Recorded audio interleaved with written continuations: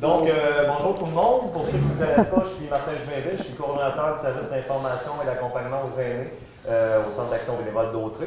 Donc, euh, aujourd'hui, c'est la conférence la, la, diversité sexuelle d'âge avec des intervenants de Gris Montréal. Donc, sans plus tarder, je vais les laisser eux-mêmes se présenter. De toute façon, ils vont vous parler un peu de leur, de leur parcours de vie. Donc, vous allez apprendre à mieux les connaître. Donc, merci beaucoup d'être là. Merci de nous écouter. Merci, Martin. Bien oui, bonjour, on est bien content d'être avec vous euh, aujourd'hui. Euh, moi, je m'appelle Marie, j'ai 45 euh, ans, je suis lesbienne, puis je travaille au GRI Montréal, dont on a parlé à l'instant, qui est le groupe de recherche et d'intervention sociale. Alors, on va être là pour répondre à toutes vos questions. Je vais vous expliquer ça dans un instant. Et je suis avec mon collègue. Et moi, c'est Simon. Moi, j'ai 30 ans. moi, je suis homosexuel. Donc, j'ai fait ma sortie du placard. J'ai dit aux gens de mon entourage que je suis gay à l'âge de 19 ans. Donc, en fait, la façon dont on va passer la, prochaine heure, prochaine heure et demie peut-être ensemble, ça va être vraiment de parler le plus ouvertement possible de tout ce qui touche à la diversité sexuelle, de répondre à vos questions, à vos interrogations, euh, on va le faire basé sur nos vies, mais aussi bien sûr sur euh, nos connaissances, puis euh, ce qu'on a appris de la part de nos collègues aussi, de toutes donc les réalités qui touchent à la diversité.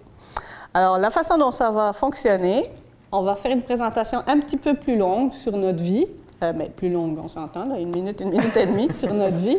Puis vraiment, ça va être à vous, tout ce qui vous passe par la tête comme question, euh, à propos de la diversité sexuelle. Allez-y, on est vraiment là pour y répondre. On est venu de Montréal, ça va nous faire plaisir euh, de passer ce temps-là avec vous. Donc, il n'y a pas de mauvaises questions, soyez pas gênés, on est vraiment là pour ça. Je commence, ça, ça, ça, ça regarde.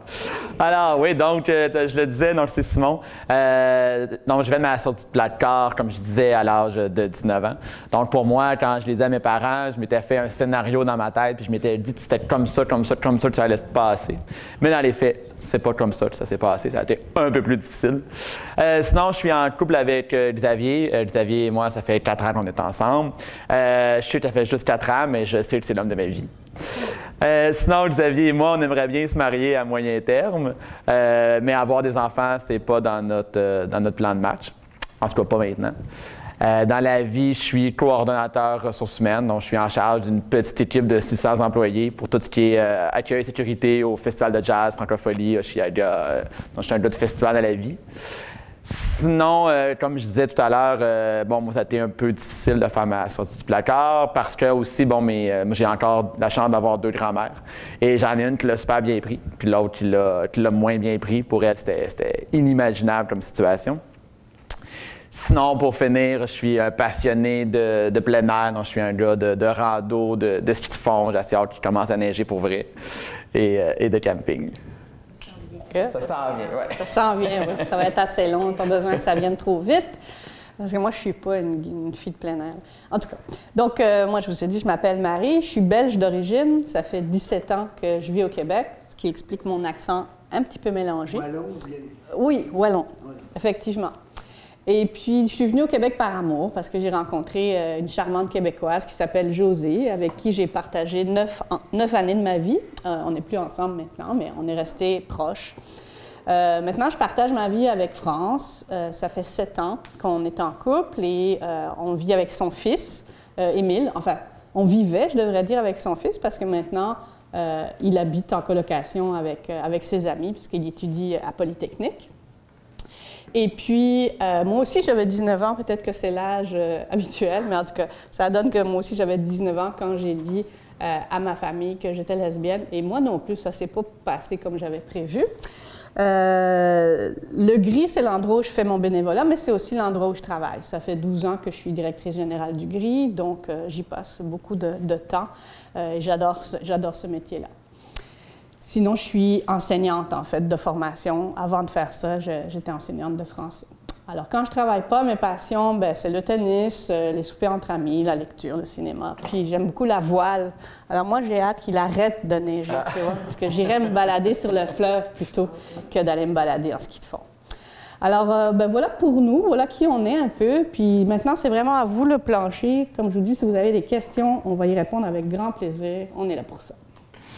Ben, en fait, moi, j'en, aurais une. Vous, euh, vous avez tous les deux dit que euh, ça avait été très difficile, euh, que les gens avaient mal réagi. Vous avez, sans, sans savoir votre âge, quand même une différence d'âge. Euh, est-ce qu'il y a quelque chose qui a, d'après vous, changé entre au moment où vous, Simon, vous, Marie, vous l'avez, euh, vous l'avez annoncé? Est-ce que vous pensez que les choses ont changé? Puis que- qu'est-ce qui est, qui est si difficile que ça euh, quand on sort du placard? Oui. Ben, en fait, moi, la façon dont ça s'est passé, ce qui a été difficile, c'était peut-être plus un peu l'effet surprise. Parce que quand on décide de dire à son entourage qu'on vit cette différence-là, d'habitude, on, on y réfléchit, on le planifie, bon, ben, je vais le dire de telle façon à tel moment, ou je vais écrire une lettre. Bref, c'est quelque chose auquel on réfléchit. Mais moi, j'ai pas eu cette opportunité-là parce que, dans le fond, à l'époque, donc j'ai 45 ans, j'avais 19 ans, ça commence à faire un petit temps. J'étais à l'université et euh, j'étais, euh, j'avais une amie, mon amie, euh, ma blonde en fait, qui s'appelait Claude. Et on s'écrivait des lettres d'amour passionnées, comme on peut le faire à 19 ans. Et un jour, sa mère, elle a fouillé sa chambre et elle a trouvé mes lettres d'amour. Et là, sa mère, elle elle l'a vraiment pas pris. Elle était vraiment fâchée. Euh, quand euh, Claude est rentré à la maison après notre journée à l'université, il y a eu vraiment une grosse dispute entre les deux. Et Claude, plutôt que de continuer cette conversation-là qui était vraiment agressive, elle a décidé euh, de quitter la maison. Et de toute façon, c'est ce que sa mère voulait. Elle voulait qu'elle s'en aille. Donc, elle a quitté la maison. Après, sa mère, elle m'a appelée et euh, elle m'a dit qu'elle avait appris pour Claude et moi qu'elle voulait plus jamais que je voie sa fille et que euh, pour être sûre que ça n'arriverait pas, qu'elle allait appeler mes parents pour leur dire que j'avais cette relation-là. Donc moi, j'étais euh, terrorisée à l'idée que ce soit cette personne-là qui était assez agressive et dans un état, comment dire, de, violence verbale euh, assez poussée, que ce soit elle qui le dise à mes parents. Là, j'avais plus trop le choix, il fallait que j'y aille. Là, j'ai pris mon frère par la main et je lui ai dit, écoute, on va aller voir papa et maman. Il habitait à peu près une heure de route de là où j'étudiais euh, à l'université, parce qu'il faut que je leur dise, j'ai pas le choix. Mon frère, ça faisait longtemps qu'il le savait. Donc, euh, je suis arrivée chez mes parents un vendredi soir. Mon père était déjà couché. Puis ma mère était bien inquiète de savoir qu'est-ce qu'on venait donc faire un vendredi soir plutôt que d'aller clubber. là. Alors, euh, je voyais déjà dans son regard qu'elle était inquiète. Puis, moi, j'ai pas été capable de le dire. J'étais tellement stressée, j'avais tellement peur de sa réaction. Pas que j'avais peur du rejet, mais je, en tout cas, j'avais peur qu'elle comprenne pas. Fait que finalement, c'est mon frère qui lui a dit, qui lui a dit, ben, tu sais, maman, Marie et Claude, c'est plus que des amis, c'est des amoureuses. Là, ma mère s'est mise à pleurer instantanément. Voir sa mère qui pleure, en tout cas, moi, ça me fait ça. Quand ma mère, elle pleure, je pleure. c'est comme automatique. Là, on pleurait toutes les deux. Là, mon frère, qui nous regardait, il s'est mis à pleurer aussi. Tout le monde pleurait. Plus personne n'était capable de parler.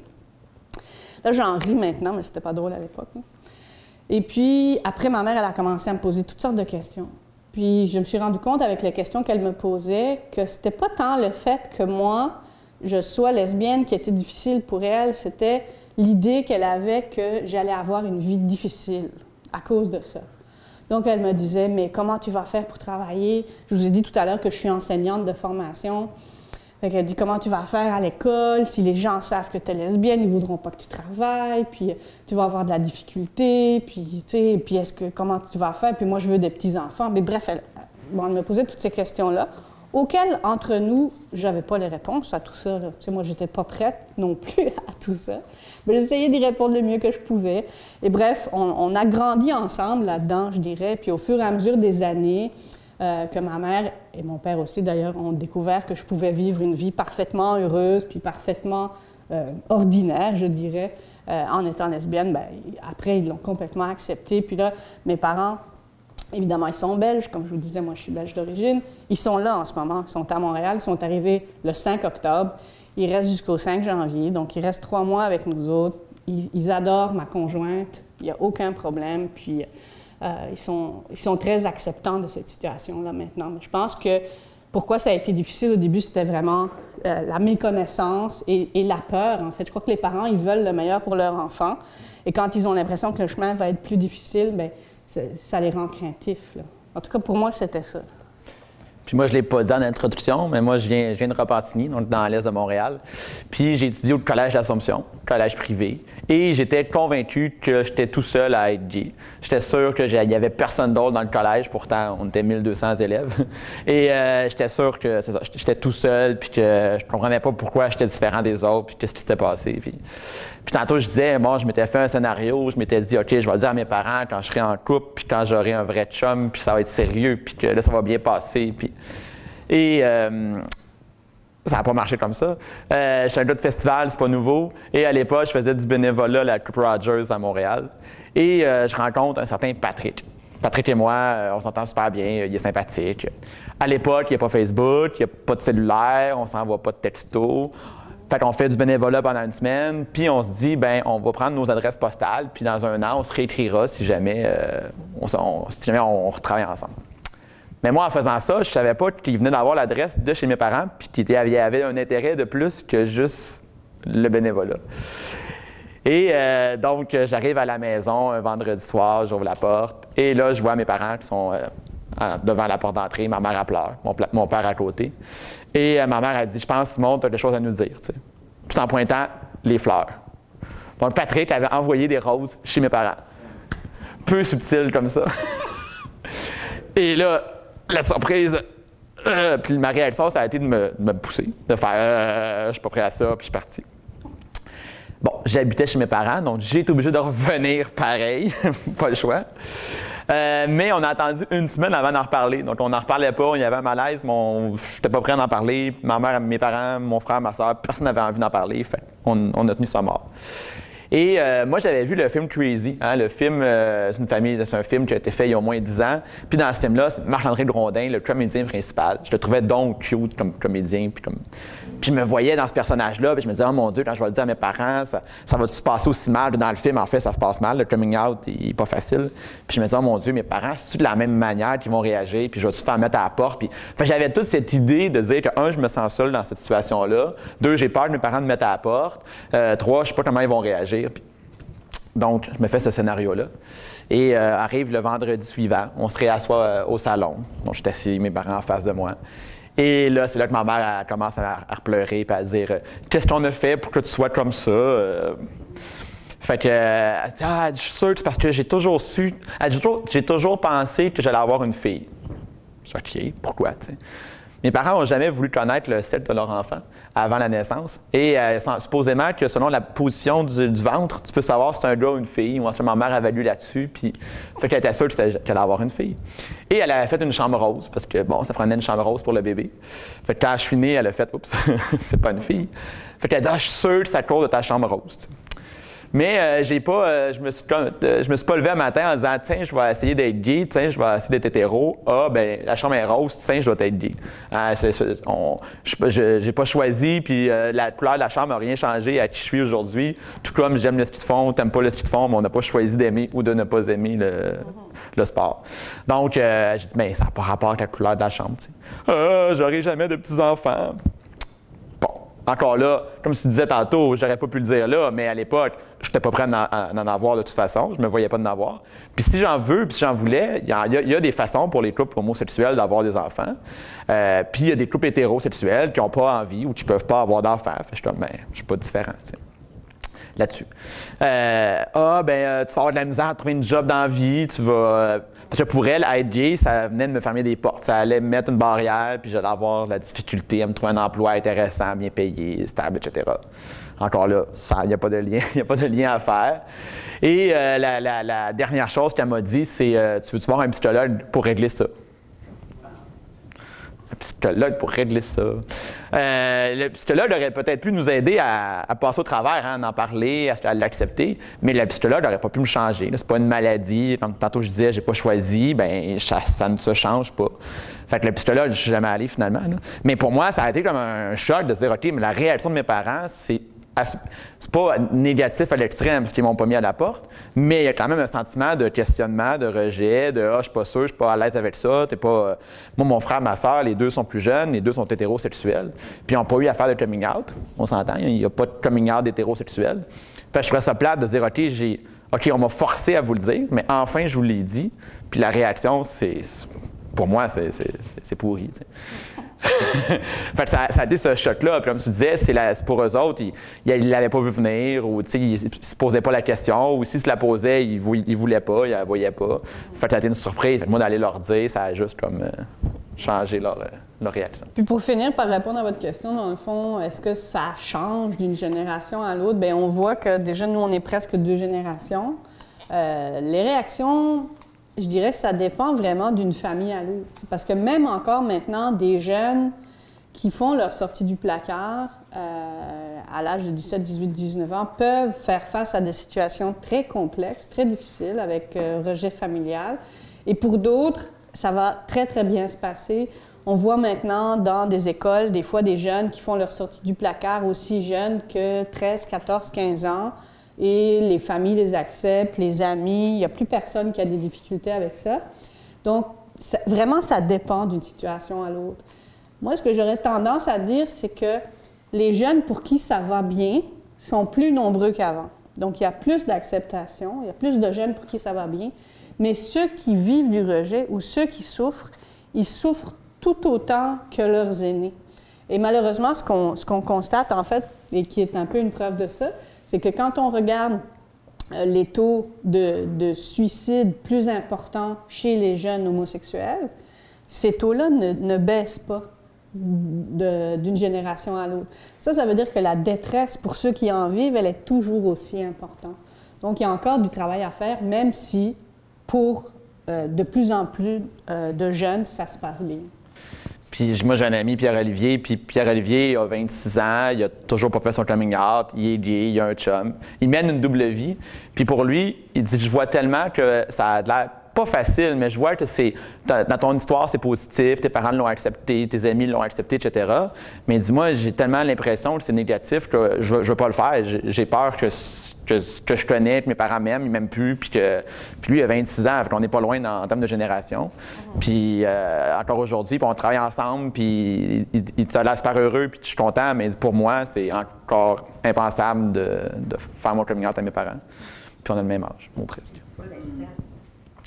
Pour l'instant, oui, il veut le faire, parce qu'il dit là, c'est pas vrai, parce que là, l'histoire de la double vie, parce que faire son coming out, parce que pour moi, ça a été ça aussi, c'est de dire, ça enlève un poids sur ses épaules. C'est OK, c'est pas comme la manière que je, voulais, vous le dire, mais au moins c'est fait. Maintenant, vous le savez.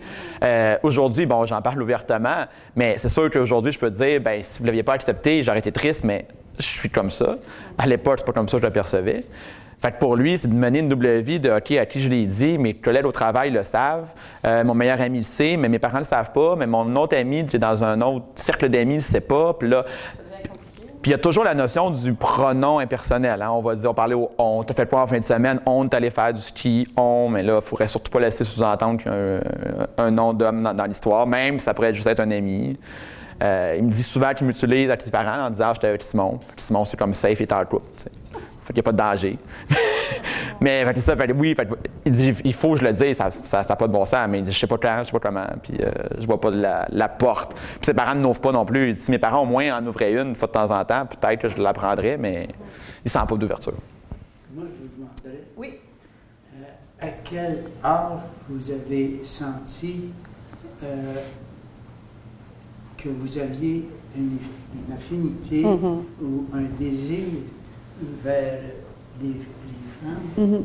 plutôt que vers les hommes? Oui, euh, ben, c'est une bonne question. En fait, je dirais que c'est arrivé euh, peut-être euh, au début du secondaire, peut-être vers l'âge de 13, 13 ans, je dirais.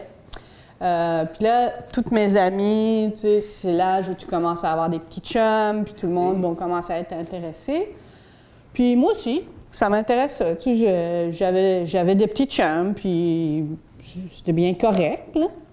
Mais j'avais toujours une, pensée dans la tête. Je me disais, mais il me semble qu'embrasser une fille, il me semble que ce serait agréable aussi. C'est, ce que je me disais. bon, moi, je gardais cette pensée-là euh, à l'esprit. Moi, j'avais jamais entendu le mot lesbienne. Je savais pas ce que c'était. Je savais pas vraiment que c'était possible, en fait, d'avoir cette attirance-là. Mais j'avais toujours cette, cette pensée-là. Puis à un moment donné, j'en ai parlé, je pense l'année d'après, j'en ai parlé à ma meilleure amie Catherine. Moi, j'étais pas du tout en amour avec Catherine. C'était vraiment ma meilleure amie. Puis je lui ai dit, Catherine, toi, est-ce que, est-ce que ça te vient à l'esprit, cette question-là? Est-ce que ça te tenterait d'embrasser une fille comme t'embrasses Nicolas? Elle avait déjà son chum à l'époque, qui est encore son mari. Ils ont trois enfants maintenant. Ensemble depuis la nuit des temps. Euh, elle me disait, euh, ben non, voyons donc, c'est quoi cette histoire-là? C'est donc bien ridicule comme question, ce que tu me poses là. Une fille, ça n'embrasse pas d'autres filles. Là, j'ai dit, OK, intérieurement, je me dis d'accord. Donc, c'est pas tout le monde qui pense ça, première chose. Puis manifestement, c'est pas une question qui est facile à poser parce que la réponse était un petit peu sèche. Je sais pas si elle avait peur que ce soit elle que je veuille embrasser, je sais pas. Mais toujours est-il que je dis bon, j'en parlerai plus, je vais garder sa mort. Mais moi, l'idée, je l'avais encore, puis j'ai continué à avoir des petits chums, puis bon, voilà. Mais arrivé à 15 ans, ça a l'air que finalement, je n'étais pas toute seule à me poser la, question parce qu'il y avait à l'école une autre fille qui, que ça la tentait manifestement. Et ça a été la première fille que que j'ai eu l'occasion d'embrasser. Et là, pour moi, ça a été une confirmation. J'ai dit, oh, OK, là, on s'entend que c'est pas la même chose. Embrasser un garçon, c'est agréable, c'est un échange d'intimité qui est agréable. Mais embrasser une fille, oh là là, ben une fille qui m'attirait, évidemment, pas n'importe quelle fille qui passe dans la rue, on s'entend. C'était vraiment la différence entre genre une petite fête de quartier puis la fête de la Saint-Jean. C'est comme, ouf, c'est pas du tout pareil. Pour moi, ça, ça a vraiment été une confirmation que euh, mes attirances étaient vraiment plus vers les filles. Mais comme je n'étais pas prête à l'accepter, moi, ça m'a pris quand même un certain temps pour accepter cette différence-là j'ai continué à avoir des chums jusqu'à l'âge de 19 ans. Et moi aussi, j'avais un peu une double vie. J'avais un chum, mais j'avais une blonde en même temps. Bon, c'était un peu compliqué. Euh, puis à l'âge de, ouais, c'est ça, à peu près 18, 19 ans, là, quand je suis arrivée à l'université, là, j'étais en couple avec Claude, puis j'avais plus de chum à ce moment-là. Et quand j'ai fait mon, mon, coming out, ma sortie du placard forcé, que, dont je vous ai parlé tout à l'heure, pour moi, ça a été aussi le, le point d'arrêt qui ferait que, depuis lors, j'ai plus jamais eu de relation avec un homme, euh, évidemment. Donc, pour moi, c'est comme ça que ça s'est passé, oui. Quand vous sortiez avec les garçons, mm-hmm. et puis vous sortiez avec les filles en même temps, mm-hmm. là, qu'est-ce qui vous attirait davantage? C'était l'aspect à la fois physique et à la fois psychologique comportement ou, euh, Oui, je crois que c'est vraiment un tout, en fait. Euh, pour moi, c'est indissociable. Euh, oui, l'aspect physique est important, mais aussi la, ce qu'on appelle la conjugalité, donc le, rapport de couple, le, rapport d'intimité, la façon dont on entre en communication, dont on entre en contact. Euh, moi, je me sens plus à l'aise dans, dans cette intimité-là avec une femme. Euh, pourtant, je suis extrêmement à l'aise avec les hommes de façon générale. Moi, j'ai trois frères, euh, j'ai été élevée dans des milieux d'hommes. C'est pas du tout une question que je suis pas à l'aise avec les garçons. J'ai toujours fait du sport dans des équipes mixtes.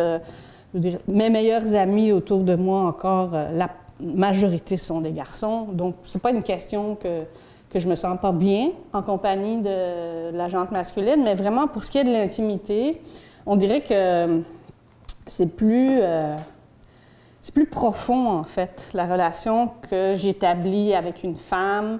Euh, puis c'est très, euh, très chimique, hein? l'attirance, l'attraction. c'est un peu mystérieux aussi. Qu'est-ce qui fait qu'on tombe en amour avec une personne? C'est indépendamment de l'orientation sexuelle, peu importe. Même pour une personne hétérosexuelle. Qu'est-ce qui fait en sorte que tu tombes en amour avec cet homme-là et pas celui-là? C'est un peu mystérieux. Mais moi, ce que je remarque, c'est que quand euh, mon cœur commence à battre la chamade, que je me dis, mon Dieu, cette personne est donc bien intéressante, euh, c'est toujours une femme. je ne peux pas vraiment vous l'expliquer autrement que ça. Euh, c'est vraiment, vraiment à l'intérieur que ça se passe. tu sais. Mm. Puis, puis c'est vrai, parce que moi je- aussi, c'est un peu au, au secondaire que je commençais à me poser des questions. Puis je me souviens de mes amis, on était cinq. Il y avait, on était six en fait, quatre filles, puis Yannick. Fait je me souviens pas du nom des quatre filles, mais je me souviens du nom de Yannick. Puis Yannick, pour moi, je trouvais donc intéressant, puis je voulais donc savoir ce qu'il avait fait dans sa fin de semaine, puis euh, je voulais faire mes travaux d'équipe avec lui, puis s'il avait le malheur de m'effleurer le coude, ah là, j'aimais ça. Puis... Fait qu'il y avait quelque chose que je trouvais vraiment plus attirant chez Yannick, dans sa personnalité, dans son physique, que je retrouvais pas chez les filles. Puis un peu comme tu disais, moi aussi, tu sais, je suis super à l'aise avec une fille, je pas, je me pose pas la question, Ah, je vais être ami avec une ou avec un, je me pose pas ces questions-là, évidemment. Mais quand, c'est Yannick, quand c'est un gars que je trouve, comme tu dis, cute, là, il y a quelque chose en dedans qui, vient me chercher. Puis j'ai travaillé à la ville de Repentigny. Et à l'époque, à la ville de Repentigny, il y avait le Challenge Volleyball. C'était la compétition de volleyball. Fait que les femmes en maillot de bain puis les gars en maillot de bain. J'étais- Je travaillais avec une gang de gars. Les gars, c'était le festival de l'été parce que c'était celui où il fallait voir les filles en maillot de bain. Mais moi, j'aurais aimé ça regarder les gars de l'autre bord, sur les autres terrains. Mais je pouvais pas parce que si je, faisais ça, ben là, je de faire mon coming out, il n'y en était pas question. Mais physiquement, la, la fille, je la regarde, mais je suis comme, OK, c'est correct, c'est une belle fille, mais c'est tout. Mais j'ai vraiment pas envie de regarder aussi longtemps que j'ai envie de regarder un gars. Puis quand j'ai euh, quand j'ai connu euh, Xavier ou Olivier ou mes ex avant, mais il y a des choses à l'intérieur, comme tu dis, qui viennent chercher. Tu sais, OK, lui, j'ai vraiment envie de le connaître, j'ai vraiment envie euh, d'apprendre à savoir c'est qui, puis qu'est-ce qu'il aime dans la vie, puis etc. Et ma mère, quand j'y ai fait, j'ai fait mon coming out, elle me disait, tu sais, t'as une, bonne amie, Audrey, je suis sûr qu'Audrey puis toi, si vous, si vous continuez à vous connaître, vous allez finir par tomber en amour. Mais non, parce qu'Audrey est super sympathique, plein de points en commun, mais il manque le physique, il manque le sentiment à l'intérieur, les papillons qui font que tu as vraiment envie d'aller plus loin avec cette personne-là. Mais justement, avec tous ces papillons, tout ce que vous ressentez, est-ce que ça a été dur de l'accepter ou si c'était clean que vous êtes accepté Ah. euh, assez rapidement? Non? Non, si, si j'avais eu à choisir, j'aurais été hétérosexuel parce que dans ma tête, c'était, c'était tellement plus simple. Un, il n'y a pas de coming out à faire. Deux, euh, j'avais pas le sentiment de faire de la peine à des gens. Euh, ma mère, quand j'ai fait de la peine, j'ai pas aimé ça. Euh, tantôt, je disais, mes deux grands-mères, il y en a une qui, encore aujourd'hui, c'est une catastrophe. Elle veut rien, elle veut rien savoir. Elle veut pas connaître Xavier. Y en a, ça, c'est fermé, fermé, fermé. Mon autre grand-mère, super, super à l'aise, elle adore Xavier. C'est un autre homme dans, dans la famille, c'est parfait comme ça. Mais euh, donc, toute cette peine-là, ce sentiment-là de se poser des questions, puis euh, quand on fait une activité, Xavier et moi en commun, mais on se pose toujours la question est-ce qu'on est qu'on se donne un bec Est-ce qu'on est qu'on- est-ce que les gens nous regardent? Ce sentiment-là fait que ce serait tellement plus sain d'être hétéro. Mais finalement, tu te rends compte que. On est chanceux de vivre, au Québec, à, slash à Montréal. On est chanceux de vivre dans, un- dans une place où les gens sont relativement à l'aise un peu partout. On n'a pas besoin de se cacher. Mais, euh, mais oui, si euh, j'avais eu à choisir, ça aurait, été plus simple. Alors qu'aujourd'hui, euh, je suis à l'aise, puis tant mieux comme ça. Ouais, moi, je dirais que ça m'a pris pratiquement une bonne dizaine d'années avant de, avant d'être vraiment complètement à l'aise avec qui je suis.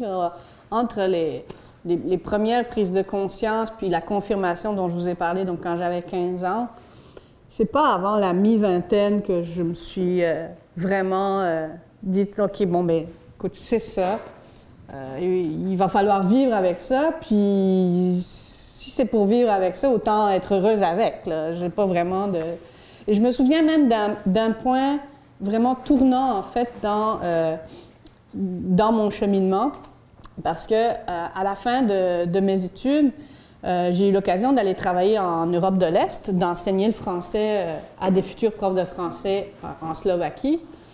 Et euh, j'ai rencontré là une amie anglaise qui faisait la même chose. Elle enseignait l'anglais à des futurs profs d'anglais en Slovaquie. Et on était dans le, dans le métro.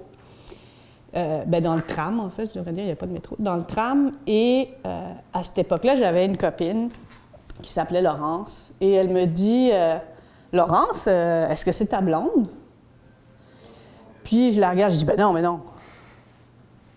Puis là, le hamster s'est mis à rouler en se disant OK, tu n'es pas dans ton environnement habituel, les gens ne te connaissent pas ici.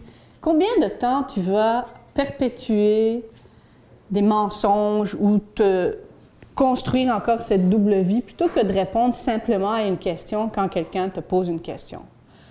Puis, dans mon cerveau, je me suis dit, ben, c'est aujourd'hui que ça arrête, ça. Je me suis retournée vers mon amie anglaise, Fiona, et je lui dis, ben oui, tu sais quoi? Oui, Laurence, c'est ma blonde, ça fait deux ans qu'on est ensemble, puis ça va super bien. Et ça a été fini. Ça a été la dernière fois que j'ai, menti, ou en tout cas que j'ai euh, caché mon orientation sexuelle. Euh, ça a été la dernière fois que je me suis sentie mal à l'aise avec ça. À partir de ce moment-là, c'était fini, puis go. Mais c'est ça, dix ans presque. Au moment de votre puberté, ça veut dire une question peut-être indiscrète, mais ultimement, les, les, filles vont voir la mère et leur, expliquent. Euh, et après ça, comment, comment vous êtes senti? Oh mon Dieu! Ben, en fait, à cette époque-là, donc. Euh, pour moi, c'était pas encore, justement, comme c'était pas complètement accepté que euh, je n'aurais pas une vie hétérosexuelle, hein, que, bon, comme tu sais, la puberté, c'est 13-14 ans, ben, même un peu avant, 12-13 ans. Euh, à ce moment-là, je me posais beaucoup de questions, mais je n'avais pas encore fait, entre guillemets, le deuil de l'hétérosexualité. Donc moi, quand ma mère me parlait euh, de mariage, d'enfants et de conjoints, là, ben, ça en va encore du sens pour moi. Je me sentais pas mal dans ça. Je n'étais pas en train de me dire, ben non, ça m'arrivera pas. Euh, mon Dieu, je vais décevoir ma mère. quand elle m'expliquait tout ça, ben, j'avais pas vraiment de, de difficulté à l'intégrer puis à me dire que ça, ça pourrait correspondre à ma réalité. C'est plus tard que je, que, que, je me suis dit, bon, non, ça, ces plans-là, là, ça ne fonctionnera pas. Ne pas, ne pas avoir d'enfant ne pas avoir d'enfant, euh, ça n'a pas vraiment, ça n'a jamais été un deuil pour moi en fait, parce que euh, je dirais que les, circonstances de vie euh, ont fait en sorte que, ben, jeune, je me posais pas tellement la question. J'ai étudié donc à l'université jusqu'à presque ben, 24 ans, donc c'était pas vraiment une bonne idée d'avoir des enfants avant d'avoir un travail. Puis, je suis rapidement venue ici euh, au Québec après, en ayant rencontré José. José, elle a 7 ans de plus que moi. Donc, moi, je suis arrivée ici, j'avais 29 ans. Elle, elle en avait déjà 36. Et on en a parlé de l'idée d'avoir des enfants, mais elle se trouvait déjà un peu vieille, puis elle n'était pas euh, si motivée que ça à l'idée, je pourrais dire. Puis moi, je me disais, ben, dans le fond, c'est pas vraiment. Euh, nécessaire à l'accomplissement de ma vie euh, comme femme ou comme couple. Puis je me disais, bon, on verra plus tard. Sauf que je suis quand même restée euh, avec José pendant neuf ans. Fait que quand on s'est séparés, ben là, c'est moi qui avais 38 ans. Et là, bon, c'est moi qui commençais à penser que même si je refaisais ma vie, il était peut-être un peu tard. Puis j'ai rencontré France l'année d'après. Elle avait déjà un fils. Euh, donc, euh, la question pour elle ne se posait pas d'avoir un deuxième enfant, d'autant qu'elle aussi a, 7 ans plus que moi, ça donne comme ça. Mais là, 7 ans après 9 ans, donc quand j'ai rencontré France, elle avait, euh, mon Dieu, elle avait quel âge? Elle avait 46 ans. Là, pour elle, c'était clair que non, on va pas aller se mettre un bébé dans les pattes à 46 ans. Puis moi non plus. Donc ça, ça s'est un peu enchaîné comme ça, mais ça, pour moi, ça n'a jamais été vraiment un désir euh, irrépressible. alors que pour France, par exemple, elle, elle a, eu son fils à 29 ans. Elle l'a fait, euh, c'était un projet personnel, je dirais. Elle l'a fait, elle n'était pas en couple quand euh, elle a actualisé son désir d'enfant. Donc pour elle, c'était vraiment une urgence. Elle, elle voulait avoir un enfant, ça faisait partie de son plan de vie. Il n'y a rien qui aurait pu l'arrêter par rapport à, ce plan-là. Donc, ça dépend vraiment d'une personne à l'autre. Et au sein de la même orientation sexuelle, une femme peut euh, vivre son désir ou son non-désir d'enfant de façon complètement différente. On le voit au sein de mon propre couple. Oui, puis moi, j'ai jamais eu, en introduction, je disais qu'avoir euh, des enfants, c'était pas dans notre plan. Je me suis jamais posé la question, si j'avais été hétéro, j'aurais-tu voulu avoir des enfants? Pour moi, naturellement, j'ai pas je, me sens pas prêt, je sais pas, je me mets peut-être des barrières dans ma tête, mais je me vois pas avoir des enfants. Puis j'ai une bonne amie qui s'appelle Marie-Pierre, puis Marie-Pierre, un jour, dans un souper, elle a dit Hey, t'as vu, Simon, c'est pour quand les enfants? encore là, c'est elle qui a amené le sujet. Puis là, OK, on se regarde, Xavier puis moi, euh, faut, il faut répondre.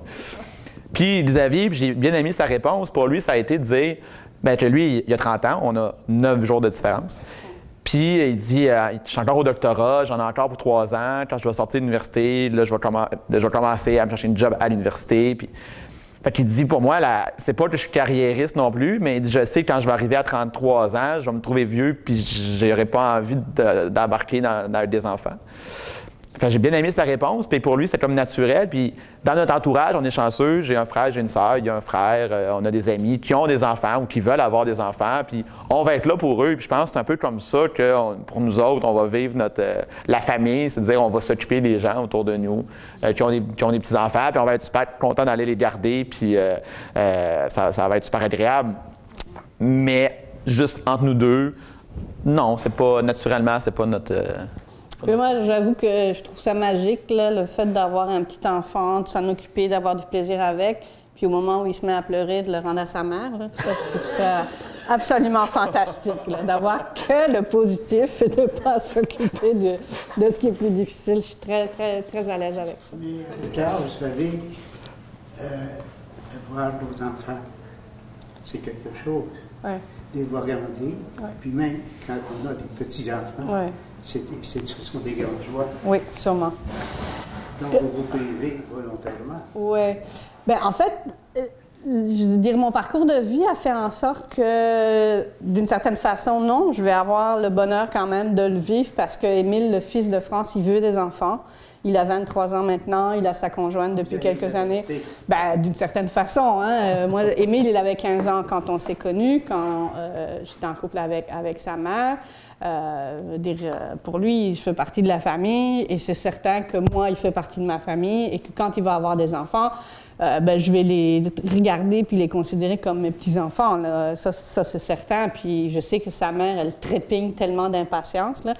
Elle lui met pas de pression parce que je pense que ça va quand même lui mettre un coup de vieux d'être grand-mère, mais, euh, elle, a, hâte que son fils ait des enfants. Puis je suis certaine que quand ça va être le cas, ces, enfants-là, ils vont être souvent à la maison, ça, c'est sûr. Donc, euh, j'aurai quand même euh, la, joie d'en profiter. Puis oui, je suis d'accord avec vous que c'est quelque chose quand même qui est...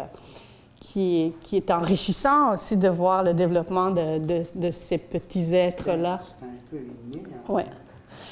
Oui, mais je cela dit, je pense quand même que euh, certaines personnes ressentent cet appel-là à la parentalité plus que d'autres. Moi, je vous avoue que je ressens plus l'appel à la grand-parentalité qu'à la parentalité. Le, le côté grand-parent me, me convient parfaitement, encore une fois, parce que euh, pas la responsabilité de l'éducation, mais euh, les gâter, en prendre soin, les voir grandir, les voir se développer, ça, ça, ça, ça me réjouit. Là. Oui, ça, ça m'intéresse beaucoup. Puis c'est pas juste les. les pas, puis faut dire aussi, c'est pas uniquement les couples homosexuels qui en veulent pas ou qui peuvent pas avoir d'enfants. Euh, tantôt, je parlais de Marie-Pierre, mais pour elle, Marie-Pierre est hétérosexuelle, puis elle, elle veut que les autres aient des enfants pour qu'elle puisse s'en occuper. Parce qu'elle, elle n'en veut pas. fait elle, avec son, son, son chum, les deux, ils en veulent pas, puis elle, justement, elle sent pas le- le- l'envie d'en avoir à elle, mais elle a vraiment envie de prendre soin de ceux des autres. Fait que si ses bons amis, on avait des enfants, elle serait donc contente, puis la connaissance serait toujours rendue chez nous. là. Euh, mais euh, fait- fait elle l'appelle à là via, ses amis. Puis ben, pourtant, elle est hétérosexuelle. Il n'y a pas uniquement l'orientation sexuelle qui fait qu'on on veut ou pas des enfants. Puis euh, si nous autres, on voulait, parce qu'on pourrait le dire aussi, mais si euh, on voulait avoir des enfants, ce serait possible. Deux gars, c'est possible. Pas, on- évidemment, on ne l'accouche pas. mais euh, euh, l'option, je trouve super intéressante, c'est que, euh, là, un peu dispendieux comme technique, mais euh, on pourrait implanter l'ovule de ma sœur euh, avec le, sperme de mon chum dans un utérus d'une autre femme. Donc, à ce moment-là, euh, le, bagage génétique de la, famille est transféré au bébé de- des deux familles. Puis, à ce moment-là, la mère porteuse, ben, c'est elle qui aurait l'enfant. Euh, mais encore là, au, Québec, on ne peut pas faire de contrat de mère porteuse. hein. Un contrat de mère porteuse, c'est pas légal. On ne peut pas dire on va te rémunérer pour, on va louer euh, l'utérus pour avoir un enfant. Ça marche pas comme ça. Mais euh, à ce moment-là, ben, on, s'entend que pour nous autres, Xavier et moi, si on avait eu, si on voulait aller vers ça un jour, ben on veut que ce soit notre enfant, nous autres. Oui, la mère sera la mère biologique sera dans, le portrait, mais ça ne sera pas une troisième personne dans notre groupe, ça ne deviendra pas euh, la maman spéciale, ça sera probablement et fort, euh, fortement la, la, la, marraine, mais on ne deviendra pas automatiquement un, couple à trois. On va rester Xavier et moi, ce sera notre enfant, puis euh, Tout à l'heure, vous aviez dit, Marie, quelque chose, puis je voudrais revenir là-dessus. Vous avez de votre désir dans, dans la symptôme, vous avez dit, pas n'importe quelle femme, celle envers qui j'avais du désir. Ça, c'est souvent quelque chose qu'on a entendu comme préjugé, là, dire, admettons, ah non, euh, je veux pas, euh, tu sais, euh, ah, il est gay, ils vont me cruiser, ou Ouais. elle est lesbienne, elle va me cruiser. Euh, pour vous deux qui, êtes, qui, tu sais, qui vous êtes assumés, tu, tu disais tout à l'heure, moi, plus jamais, je vais rentrer dans le placard, c'est assumé. Est-ce que vous le sentez des fois, ça, cette peur-là des gens de dire, euh, oh non, non, non, euh, est-ce que vous le sentez encore? sais? Oui, c'est vraiment, euh, c'est vraiment un préjugé qui est tenace. hein, tu sais, Puis on entend des gens souvent qui vont dire Ah, moi, j'ai rien contre les gays du moment qu'ils me touchent pas.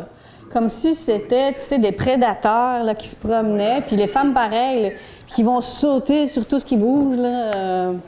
Mais non, regarde, on, on fonctionne vraiment de la même façon qu'une personne hétérosexuelle. Fait qu'avant que quelqu'un qui nous allume, il va falloir qu'il soit de notre goût, tu sais.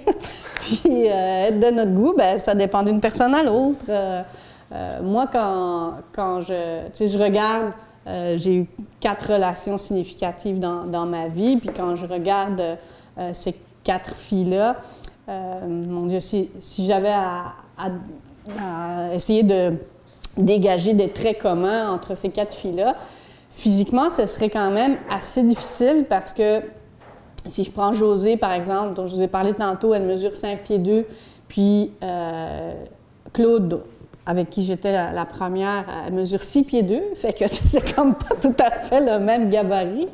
Mais, euh, par exemple, elles ont toutes les yeux bleus. Euh, moi, c'est quelque chose qui, qui m'allume peut-être plus, mais c'est un hasard, je crois aussi.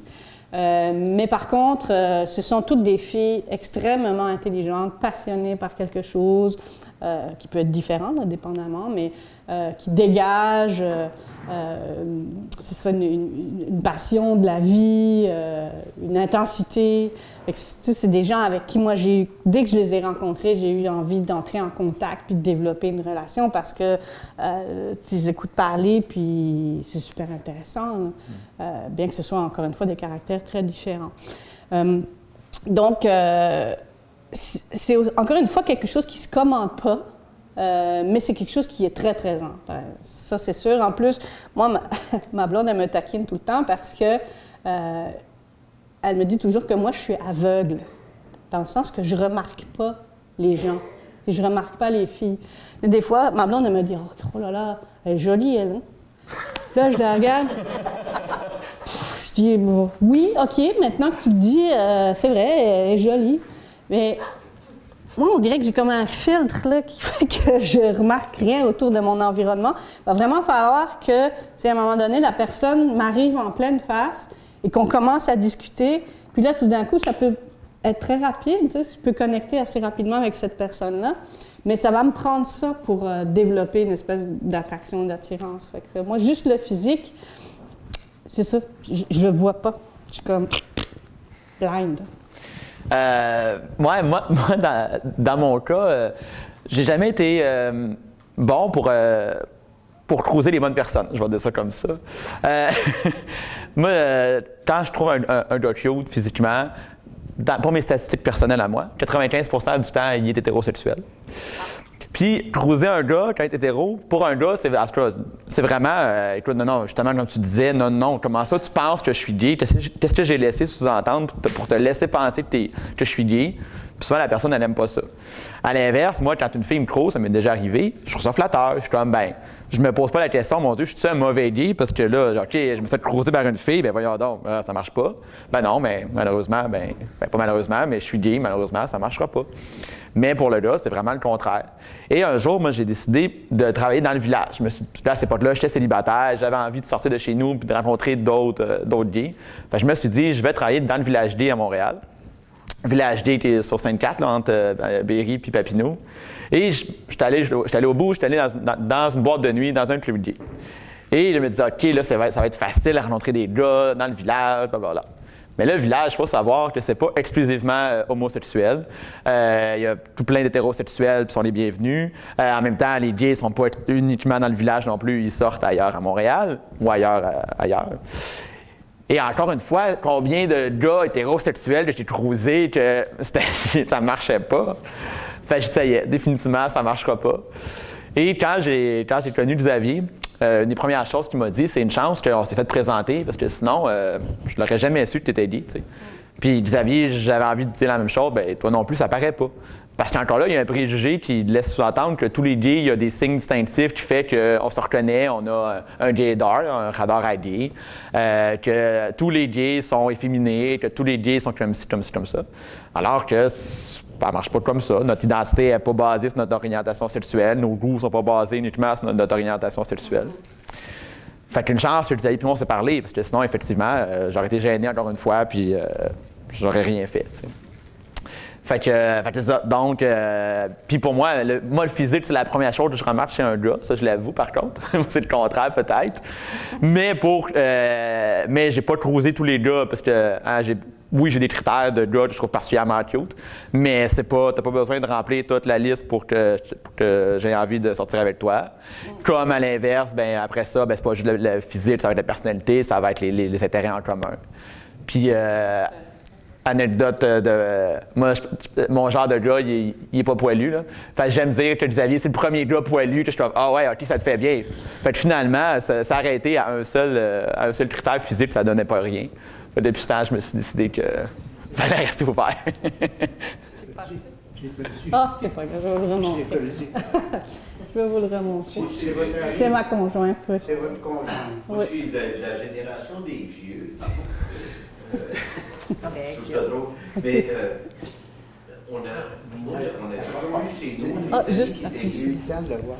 Euh, c'est parce qu'il reste qu'il y a des femmes Bon. comme des hommes. Eh, Je me rappelle depuis la Je veille. dois avoir une question. Et Ouais, ça bon. souvent euh, des gens dire Ah, ben, es-tu aux deux Tu sais, C'est parce que tu as des amis qui sont vieux. Hmm. Donc, il y a aussi, il y a- moi je connais des gens que c'est leur crainte de dire, euh, il y en a ici qui le savent, là, j'ai un de mes amis qui s'en vient ici souvent, tu sais, il est gay, c'est tout le monde le sait, puis quoi donc.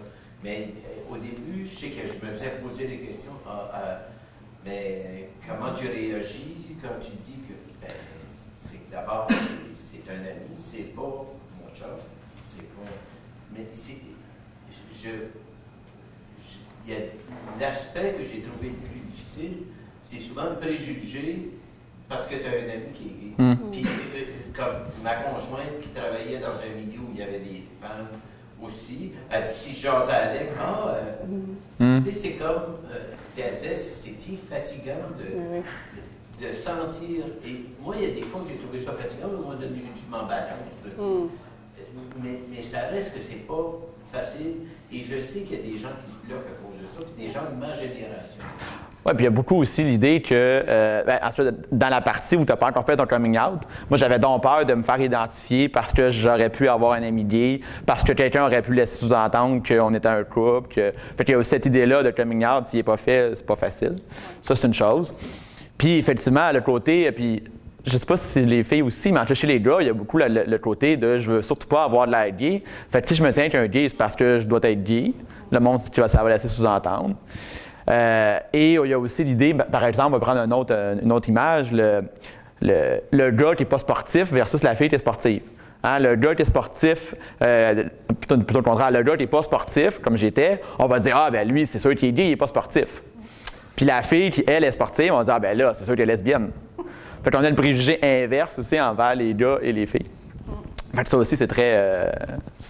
C'est encore présent. Là. Puis c'est vraiment, euh, ce dont vous parlez, c'est vraiment un problème un peu majeur dans notre société, dans le fond, parce que ça empêche que même des gens qui seraient ouverts d'esprit, ils vont peut-être même s'empêcher de fréquenter des personnes d'orientation homosexuelle par peur d'être eux-mêmes victimes de moqueries.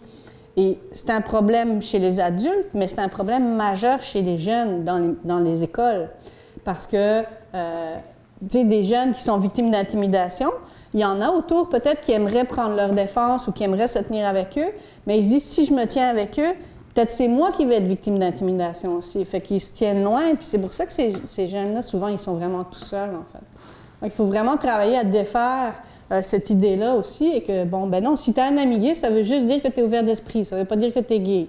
Et qu'on essaye de faire passer ce message-là, mais, mais c'est pas toujours évident. Puis moi, au secondaire, j'étais pas sportif. Puis euh, quand Yannick, justement, que je parlais, Yannick, euh, lui aussi, était pas sportif, puis il aimait la gymnastique. Fait que ça va pas bien, gymnastique, c'est pas un sport, c'est pas un sport de gars, surtout pas. Puis quand Yannick, enfin, c'était lui qui avait qui se faisait harceler, ben là, moi, je devenais moi aussi euh, harceleur parce que là, j'étais OK, on m'a lâché. Puis à l'inverse, quand c'était là, moi qui devenais l'harcelé, ben là, Yannick en profitait pour. Fait aujourd'hui, je le regrette. Je- C'est vraiment pas la bonne façon de faire. Mais à l'époque, c'était ma défense de dire OK, pour une fois, on m'a lâché, puis on va arrêter de dire que c'est moi le, le, de service. Fait que là, c'est passé à Yannick, mais là, ça tournait comme ça. Aujourd'hui, par hasard, Yannick et moi, les deux, on, est gays. Mais on s'est jamais reparlé depuis ce temps-là, depuis le secondaire. On, je le sais, par, on suit sur Facebook, puis c'est tout. Mais c'est plate, parce que je pense qu'on aurait pu être ensemble. On aurait pu être ensemble dans le sens où on aurait pu être devenir des vrais amis, des bons amis, puis peut-être justement euh, prendre soin, puis faire OK, on n'est on n'est pas tout seul, on est au moins deux, puis. euh, mais bon, ça c'est facile à dire. euh, Et ça, ce que 15 tu ans plus tard. euh, tu sais, on, on le retrouve même dans, dans des études qui disent que certaines personnes, en tout cas, qui sont homophobes, qui sont violents vis-à-vis des personnes homosexuelles, sont elles-mêmes incertaines de leur orientation sexuelle. Et certains, en fait, leur homophobie, c'est une façon, tu sais, de cacher leur orientation sexuelle pour ne pas être victimes eux-mêmes de violences. là. Mais j'en connais quelques-uns, c'était ça leur cas. C'est-à-dire, Ils réagissaient aux gays parce qu'ils refusaient de. Puis il y en a un là, en particulier que j'ai en tête qui s'entraînait, qui s'entraînait, il fallait qu'il soit c'est assez qu'il s'est fait ramasser en disant C'est quoi que tu essaies de prouver? Mm. Il a- je pense qu'il a ouvert, il avait 37, 38 ans, là, sais, Mm. il a accepté de dire que oui, il était gay, mais il était en réaction à tout ce qu'il y avait autour. Ouais. Puis il voulait se prouver qu'il était un vrai gars. Sais. C'est sûr qu'il ne faut pas euh, sauter aux conclusions que dire que toutes les personnes homophobes sont homosexuelles refoulées, là, mais il y en a une partie quand même. Oui, vous aviez une question. Euh, je suppose que vous allez voir un spectacle et c'est une belle danseuse et vous êtes avec votre dame Mhm. et vous dites Eh, elle est cute, hein?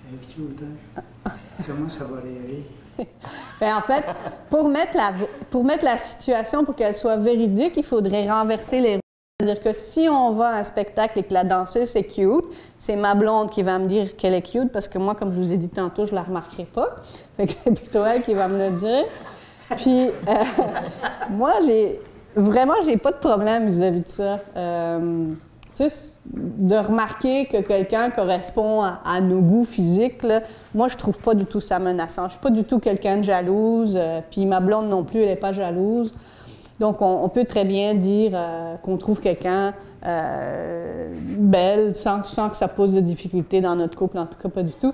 En fait, parfois, c'est même drôle parce que, justement, je vous ai dit, moi, je vois jamais personne, mais ça arrive peut-être deux fois sur l'année qu'il y a quelqu'un qui, me- qui me surprend qui me saute au visage, qui je me dis, oh mon Dieu, elle, elle est vraiment cute. Et ça, c'est vraiment rare. Je me rappelle d'une fois, on était partis, on avait traversé les lignes avec un couple d'amis, un couple d'amis très proche, un couple d'hommes et, et France. Donc, on était quatre dans la voiture, puis on arrive à la, à la guérite et c'est une douanière. Puis la douanière, elle ressemblait vraiment beaucoup à euh, une actrice dans, dans Unité 9. Là. Je ne sais pas si vous avez suivi ça, Unité 9. Mais en tout cas, il y a. euh, comment, dire- comment elle s'appelle? Son nom de famille, c'est Pilon. Là, mais en tout cas, celle qui, joue dans Unité 9, qui a toujours une tresse bien, euh, bien à plat sur, sur, la, sur la tête. Une jolie fille. On arrive à la guérite. Je vois la douanière. Puis là, je dis je donne mon passeport.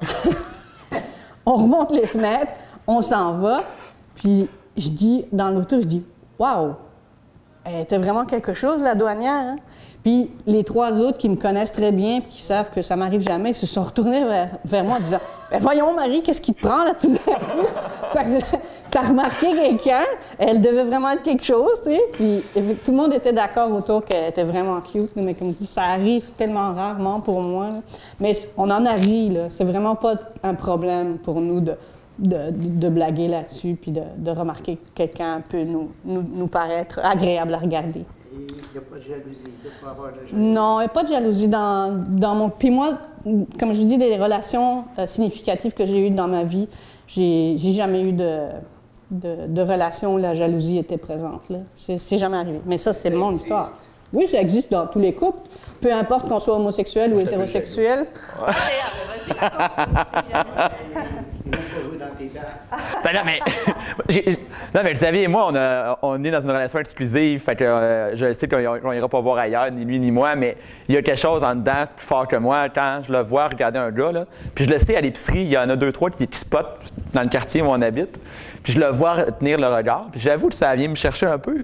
Mais c'est correct, puis ça vient me confronter dans OK, j'ai-tu l'air physiquement de ça? Tu sais, j'aimerais. Je me dis, si- s'il le regarde comme ça, c'est peut-être que justement, il rentre plus dans des critères physiques que moi, je ne rentre pas ou pas parfaitement. Mais ça, c'est personnel. Mais, mais Xavier, lui, à l'inverse, comme toi, il n'est pas du tout jaloux. Mais j'aimerais ça des fois qu'il soit un peu. J'ai un sentiment aussi que c'est le fun de dire OK, tu, tu m'as remarqué, tu as remarqué, euh, je vais faire attention, tu vas faire attention. Euh, moi, je trouve la jalousie dans un couple, c'est un- pas à être maladif, mais je trouve qu'il y a un côté sain à être jaloux un peu. Je trouve qu'il y a un petit challenge, il y a quelque chose de. Non, pas possessif, non, quelque chose de. Ah, tu as, remarqué telle affaire ou tu as remarqué. euh, Ah, mais moi, je vais remarquer, mais ça va pas susciter de la jalousie. En fait, souvent, ça va, au contraire, ça va susciter de la fierté, en fait. Moi, si je vois une fille qui regarde ma blonde, que manifestement, elle la trouve, ou, ou un garçon, d'ailleurs, euh, qui la, manifestement, il la trouve jolie, mais moi, je, moi, je tire un sentiment de fierté de ça. Je dis, ben, t'as bon goût, puis c'est vrai qu'elle est cute. Puis, euh, que- mais je sais que j'ai rien à que j'ai rien à craindre. Puis euh, de la même façon, tu sais, quand France trouve quelqu'un cute, il me dit bon ben oui, elle, elle a du goût, ça a de l'allure. Fait que si elle, elle doit me trouver de son goût si je veux, je, je suis pas pire. tu sais. Fait que C'est plus un sentiment de fierté partagé là, que, Mais que de jalousie. dans un couple ça se passe la même chose. Exactement. Sûrement, hein? Ah oui, oui. Je peux le dire, à un moment donné, Ah, il est cute à mort. Ah ben c'est ça. Autant. Regardez beaucoup. Ne touchez pas.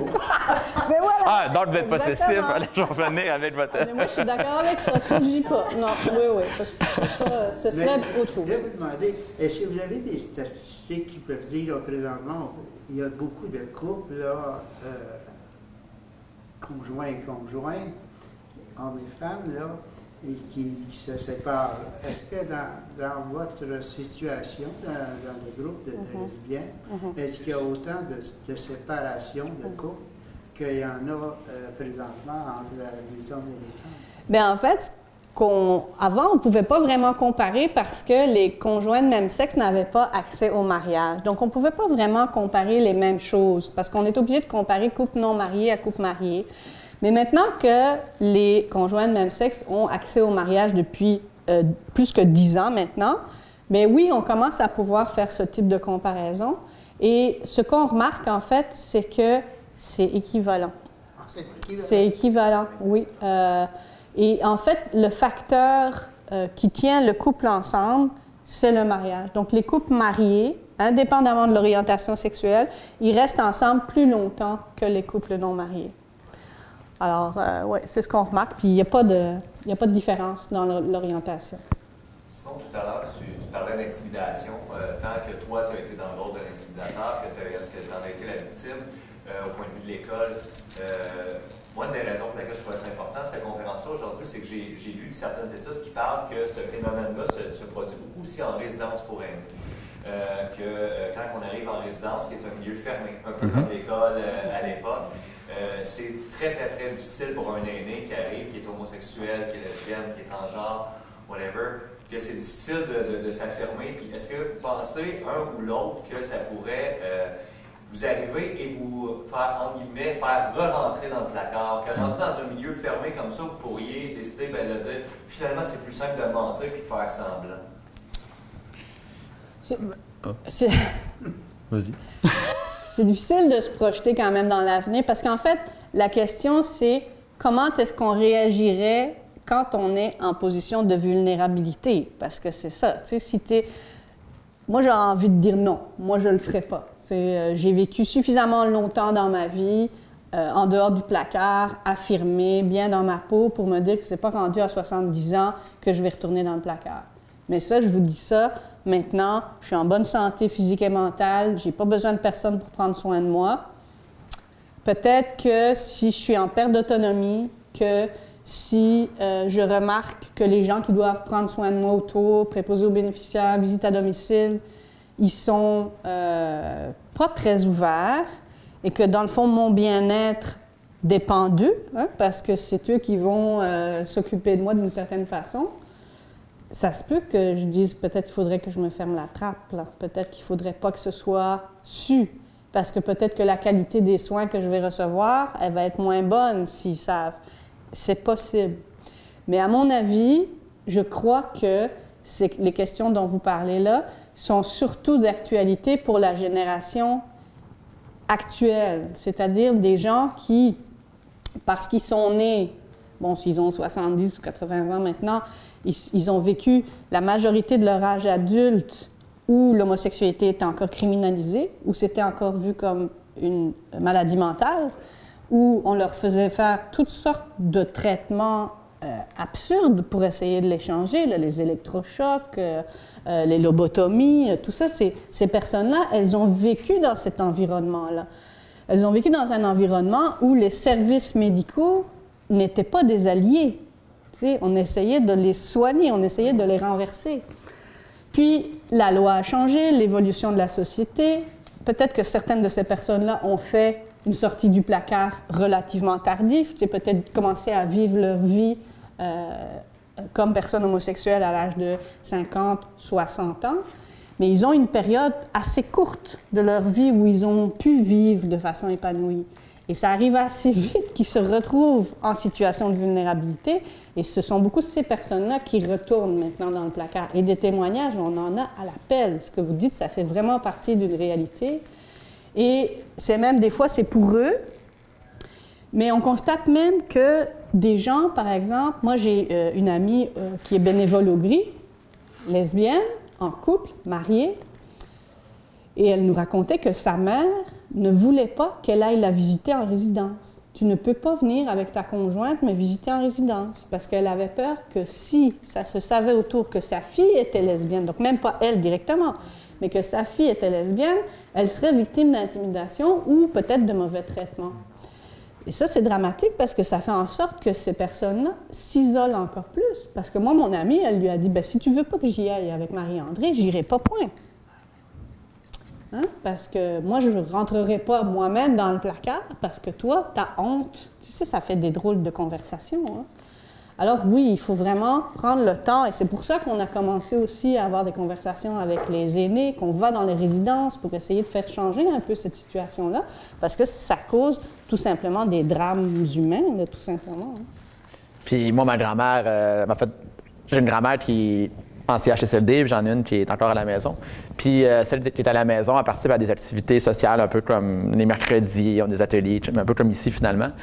Puis quand tu lui dis, ah, grand-mère, tu sais, dans la, que je suis intervenant au DIRI, c'est quoi le DIRI? Ah oui, ok, voilà. Genre, on pourrait aller, on pourrait aller vous voir, tu sais. Non, non, non, non, non, pas besoin de ça.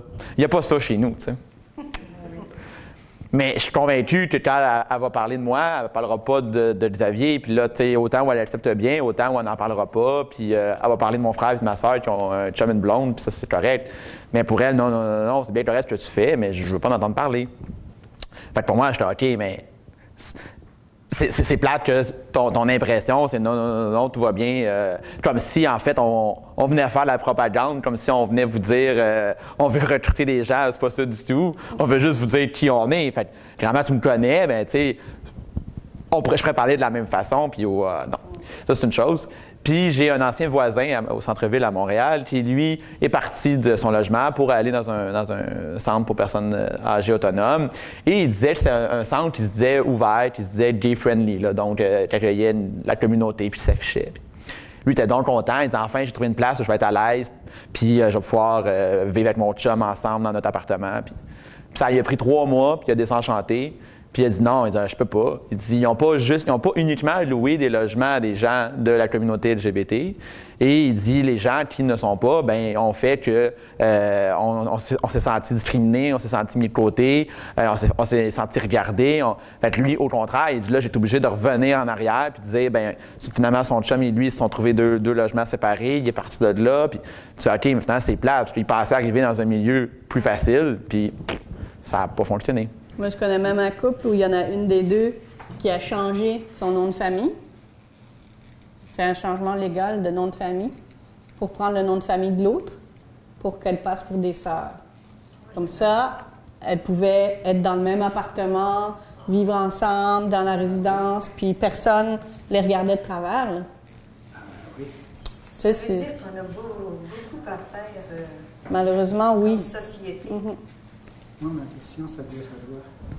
Euh, vos parents, là, quand ils ont appris que vous étiez gay, ils n'ont pas pensé dire ben, on va l'envoyer voir un psychologue un psychiatre ou euh, un curé ou n'importe qui, puis on va y faire, il va lui faire comprendre que Ouais. c'est- pas, pas, pas faisable.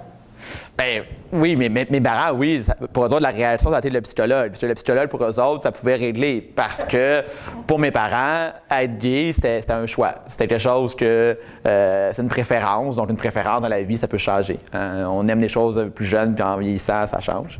Fait que pour mes parents, c'était ça. Euh, chez nous, on a tous été baptisés. On, est, on est tous, euh, mais on n'est pas pratiquants, mais on est tous allés à, à l'Église catholique. Et euh, j'ai pas décidé d'arrêter de pratiquer parce que je suis gay.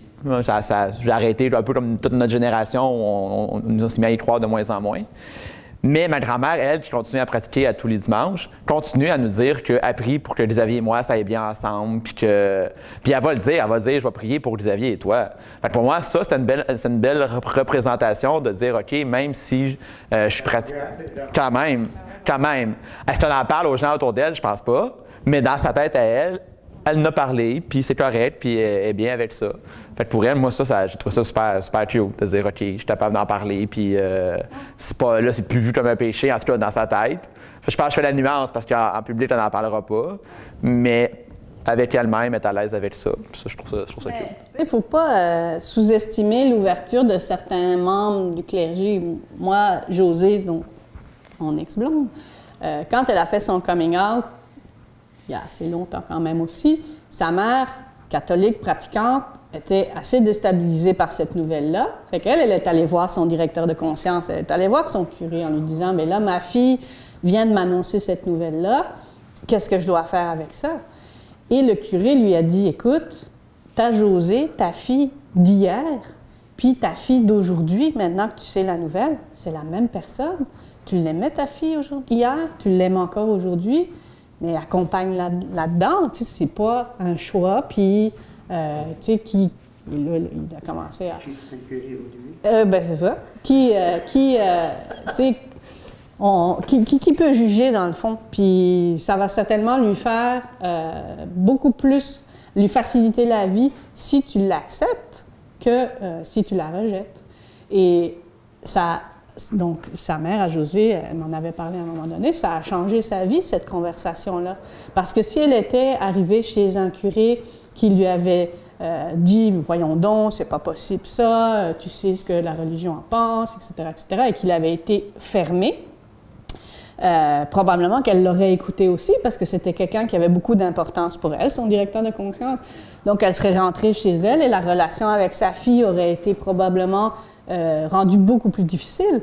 Alors que maintenant, euh, pratiquement euh, euh, qu'à- enfin, 35 ans plus tard, sa maman vit toujours, puis c'est encore une relation, une superbe relation. Elles sont très proches toutes les deux, et José prend soin de sa maman, et etc., etc. Donc, ce curé-là, par cette conversation-là, c'est incroyable le bonheur qu'il a mis autour de lui. Donc, il y en a des curés ouverts. Une question en arrière. Oui, euh, euh, il y a aussi une chose qui me. on a- il y a un ami que j'ai. j'ai- côtoyé pendant quatre ans avant de savoir qu'il était gay. Moi, je ne les vois pas. Là. On dirait que je ne le sais pas. Je l'apprends. Puis, comme, à un moment donné, euh, j'ai dit comment ça se fait qu'il n'y a, plus de blonde. Il y avait eu une blonde, puis il n'y avait plus de blonde. Ça faisait quatre ans. Puis, Jusqu'à temps que ma conjointe, mes filles me disent Ben voyons donc, ouvre-toi les yeux. Mon fils, il s'en est pas aperçu. Moi, je ne me suis pas aperçu. Et lui, quand il a su qu'on le savait, c'est lui qui s'est exclu. Il a été au moins 5-6 mois sans. Il méditait. Jusqu'à temps qu'il me dise à un moment donné, vas-tu me parler pareil? Mais c'était son coming out qu'il disait. sais. Mais je ne sais pas si vous comprenez comment. Euh, Il y a des fois que c'est pas aussi. Tu sais, c'est comme, je t'ai parlé pendant quatre ans, j'arrêtais pas de te parler parce que t'es gay. puis- Je sais pas si vous comprenez. Mais il y, en a qui ça arrive. C'est que ça arrive, ça arrive chez, pas juste chez les hétéros, mais des, des gens en situation où ils s'excluent eux-mêmes. Tu sais, je trouvais que. C'est ça, mais tu sais, vivre le rejet, c'est, c'est pas agréable. Hein? Et que des fois, on va préférer s'isoler, ne pas se mettre dans la situation où tu risques de te faire dire non, où tu risques de te faire rejeter. Puis ça, les jeunes, ils font ça régulièrement. Des fois, on voit des jeunes en milieu scolaire qui vont, euh, euh, comment dire, quitter leur groupe de sport ou quitter leur groupe d'amis parce qu'ils sont en train de prendre conscience de leur orientation. Ils s'isolent parce que justement, ils ne veulent pas être confrontés à ça. Ils ont peur du rejet, fait qu'ils vont s'isoler. Puis votre ami, j'imagine que la réflexion qu'il a eue, c'était ça aussi. Je préfère ne pas y aller. La culpabilité aussi, je pense. La culpabilité de dire je suis différent, de dire euh, là, il faut que je te le dise, comment tu vas réagir, je m'excuse de te faire vivre ça. Moi, j'ai déjà entendu, là. Je m'excuse de te faire vivre ça, mais tu me fais pas vivre rien au sens où c'est toi, puis tant mieux si tu m'en parles. Mais pour, pour lui, c'était vraiment comme ouf. Mais moi, je, si je compare ça un peu euh, au début, euh, à un moment donné, dans, dans ma carrière, j'ai, euh, quand j'enseignais encore, je suis arrivée dans un milieu, euh, je, ven- je venais de retrouver un, emploi d'enseignante, puis je suis arrivée dans la salle des profs et j'ai analysé l'environnement comme étant hostile. À tort ou à raison, là, mais j'avais l'impression que les gens autour de moi, ils ne seraient pas ouverts au fait que je sois qui je suis. Et j'ai préféré quitter. J'ai donné ma démission euh, après 24 heures. Euh, puis c'est moi, je me suis exclue. Euh, j'ai pas eu de confrontation, personne n'a été méchant avec moi, mais pour une raison, euh, X ou Y, en entendant leur conversation, en entendant certaines blagues euh, sur euh, les réalités homosexuelles ou des mots qui étaient employés, ben, je me suis dit, moi ici, là, je me sens pas bien. Mais peut-être que si j'avais dit, peut-être que les gens auraient dit, oh, excuse-nous, tu on dit ça, mais on voulait pas te blesser. Et puis peut-être qu'ils auraient été acceptants, en fait. Je sais pas. Mais en tout cas, avec ce qui était démontré de premier abord, ben moi, j'ai choisi justement de m'isoler, de m'exclure de ce milieu-là. C'est vrai que j'ai dû trouver un autre emploi. Ça s'est fait aussi quand même relativement bien, mais c'est une réaction qui, est un peu humaine, en fait. Hein. C'est pas, pas de se faire rejeter, c'est pas gai de se sentir euh, mis à part, mis de côté. Alors, des fois, ben, on, on, va se, on va se le faire à nous-mêmes plutôt que de se le faire faire par quelqu'un. Puis il y a aussi le sentiment, je pense, de j'ai vécu une double vie, je te l'ai caché. Tu sais, c'est, mettons, tu fais dans, mon cas, tu fais ton coming out, à 19 ans, mais tu dis, OK, tout ce que j'ai vécu avant, je, l'ai caché aux autres. Parce que moi, j'ai commencé à sentir que j'étais attiré vers les gars, j'avais 14, 15, 16 ans. Puis là, donc, de ce temps-là, à 19 ans, j'ai mené une double vie. Fait que quand je l'ai dit à certains amis, bien, effectivement, j'avais le sentiment de, c'est vrai, je vous ai menti depuis tout ce temps. Parce que oui, j'ai daté, euh, j'ai rencontré des gars, euh, j'aurais eu envie d'aller plus loin, de, de vous en parler, je ne l'ai pas fait, j'ai parlé au homme, j'ai parlé d'une fille, etc. Donc, il y a ce sentiment-là aussi de dire, l'avoir fait avant, ça aurait peut-être été différent. Fait que là, j'ai peur du rejet de l'autre. Vous voulez dire? Oui. Tantôt, tu disais que c'est pas par choix. Ouais. Bon, c'est évident parce que tu aurais choisi, comme la majorité des gens, d'être hétéro. Mais aujourd'hui, avec euh, la recherche, là, on commence à dire que ça peut même être dans les gènes.